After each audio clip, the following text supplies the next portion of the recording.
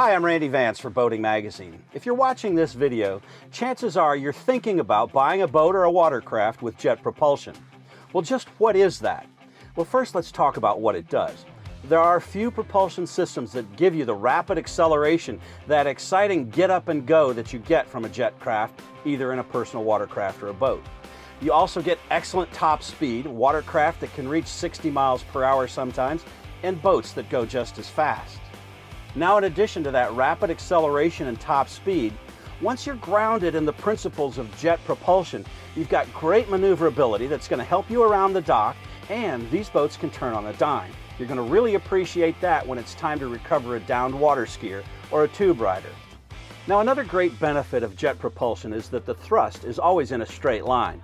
That accounts partly for the speed, but it also gives you a very low bow rise as you step up on plane. Even more advantageous, you don't ever have to adjust the trim on your jet-propelled boat. Another advantage you get from the jet propulsion system is that the entire running gear system is contained within the boat. That means you have a shallower draft and you have no running gear to damage on a grounding. Another advantage to the fully contained propulsion system is the fact that it enables the design here on this transom platform. Plus, when your kids are swimming behind it, there's no gear case or propeller to stub your toe on. Now whether you're looking at a personal watercraft or a family boat, those jet propulsion advantages apply. There's some mechanical advantages too. First of all, Yamaha designs and builds every part of this boat. They warrant everything from the keel to the T-top, and that means you don't have to go here for motor maintenance or there for electrical maintenance. It's all done by your Yamaha dealer.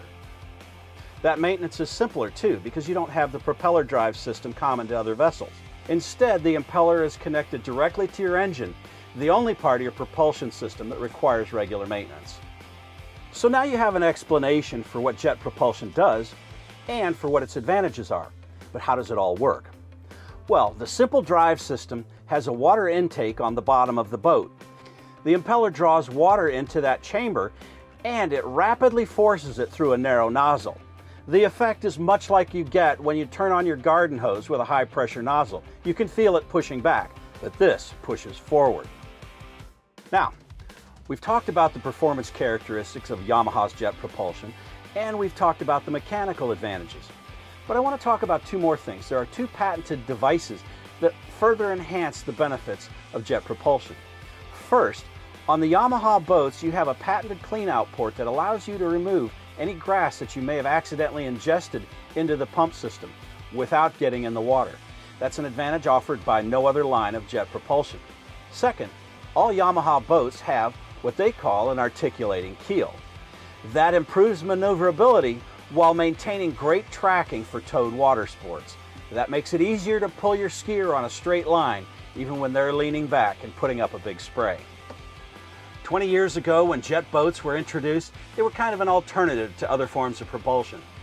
In that time, though, they've gone mainstream.